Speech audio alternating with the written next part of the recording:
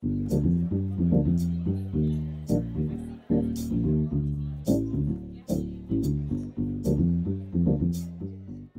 este caso a mí como investigador me interesa mucho más este universo que se aleja de, los corsés de la, realidad, de no tener que tener vinculado a,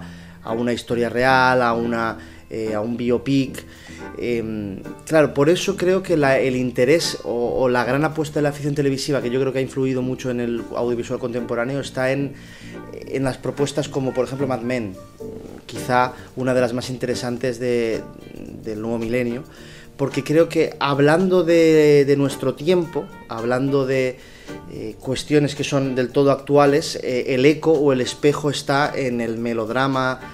cinematográficamente que hemos visto en los 50, pero ubicando una época que es la Norteamérica eh, del boom publicitario, también del ascenso de la mujer, de, de todo, el asesinato de Kennedy, la muerte de Marilyn, es decir, todo un universo que siendo real nos invita a hablar de cosas de hoy, sin que por ello se necesite una verosimilitud o un compromiso eh, acérrimo a, las cosas que realmente sucedieron. No, no creo que eh, la ficción televisiva tenga que funcionar como espejo de la realidad, porque para eso hay otros, eh, no voy a decir géneros, pero no para no es géneros, sino otras propuestas. yo siempre suelo decir a mis, a mis alumnos cuando dicen eh, que les impacta tal audiovisual, ya sea cine o series, porque algo sucedió de verdad, en plan, pero es que eso sucedió de verdad. Eh, hay que preguntarse si el audiovisual, la película o la serie em, es buena o mala al margen de eso, porque retratar una historia increíble, el mérito lo tiene la historia o el personaje, que es decir, eh, ver lo imposible tendrá el mérito de lo que sucedió, o ver Tremé, Tremé es una propuesta a nivel de seriedad muy interesante, pero no tanto por lo, por lo que sucedió con Katrina y con Nueva Orleans, sino por la propuesta narrativa de Tremé. Sí que creo que mm, en esto que se ha venido a llamar los, los puzzle films, los mind game films, que hemos venido muchos investigando desde hace muchos años, em, sí que es posible que hayan encontrado un lugar un lugar donde quedarse. Si ahora parece que una narración parece que una narración esté contada de manera lineal, clásica, sin, sin recovecos, sin resquicios, sin, sin trucos, eh, parece que ya nos falta algo. Reivindico el hecho de que también no tanto en lo sintagmático, es decir, podemos resultar un mind game film sintagmático, es decir, en el eje, en el eje de desordenar y luego ordenar y tal, pero se puede, ser una, se puede hacer una obra compleja en el paradigmático, en el eje vertical, es decir, que de repente en esta imagen, antes de saber qué va antes o qué va después, le estás exprimiendo la historia, por ejemplo, para mí La Land, la historia del musical, que es un género necesariamente a reivindicar, y al mismo tiempo la historia del cine desde el plano secuencia inicial. Luego resumimos, eh, nos vamos a Casablanca, Rebelde sin causa, Cantando bajo la lluvia, el, cine de Jacques Demy, el de Fred Astaire, Ginger Rogers. Pero ya no solo eso, sino iluminación, recoges a Ryan Gosling iluminándolo a veces como otra película absolutamente emblemática de lo contemporáneo que es Drive eh, recogiendo al mismo tiempo esa fantasía del mega narrador final. Eso está en La La. Entonces, reducirlo a lo que se supone que es que bailan y se quieren o lo que sea, pues es bien, esto es el que. Pero reivindico la posibilidad de que el efecto palimpsesto que comentábamos ayer, que veas un texto en el que no se han borrado las huellas de un texto anterior voluntariamente, pero que eso te invite a mirarlo tras luz. Y mirar a trasluz de La Land es una experiencia que yo recomiendo mucho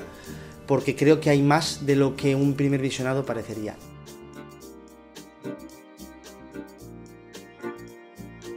Me parecen coartadas, a mí estas cosas me parecen coartadas, me parece que, igual que cada época ha tenido sus demonios y sus, sus dioses, eh, ahora esto es una coartada para generar personajes. Me interesa más si la narrativa enloquece con el personaje, es a lo que voy. O sea, si, si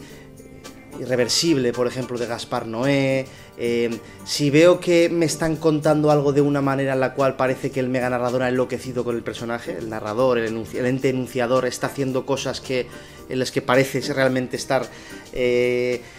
imbuido por algún tipo de, mm, locura, ahí las narraciones locas mm, resultan más interesantes que las narraciones en las que el personaje protagonista es loco, que no es lo mismo, y a veces van combinadas, claro.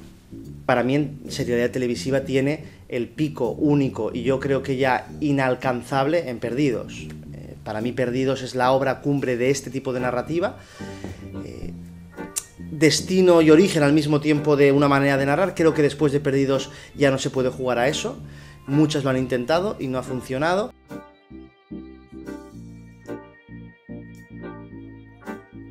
Aquí viene uno a tirarse hacia atrás y recuerda en el Quién mató Laura Palmer de principios de los 90 el modo en el que los espectadores de esa época llamaban por teléfono a Telecinco en aquella época preguntando quién mató a Laura Palmer. Eh, habían eh, eh, programas de televisión en los que se debatía con tertulianos de la época. Em,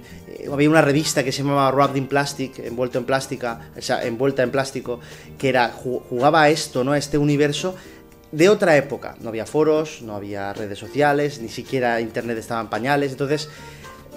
me viene muy bien porque aquella incógnita eh, no es mejor ni peor ni distinta a las incógnitas de hoy en día, pero sí que por cuestión tecnológico-estructural se tenía que afrontar de una manera distinta. Em, claro, ahora eh, un movimiento en Twitter o un movimiento en wikis o en lo que sea eh, defiende la preeminencia de un personaje en una, en una determinada serie y o le dan más minutos o lo resucitan o le hacen un spin-off. Es decir, hasta qué punto evidentemente hay eh, una participación activa en la construcción del texto audiovisual contemporáneo. Mi posición ante esto es em, que hacen bien los textos en general, dejando al espectador eh, con el mayor margen posible de lejanía. Es decir, yo ahí voy con Matthew Weiner, que es el, creador de, Mad Men, que tiene una, en alguna de sus entrevistas siempre dice que mm, no, eh, no, no, creo mi serie, no, no creo Mad Men o no concibo Mad Men como una serie eh, para un espectador que esté viéndola mientras tiene el móvil en la mano. Eso hace un contexto que lo que hace es ahogar al texto. Y, yo creo que el texto, de, el texto ha, de, ha de brillar por sí mismo.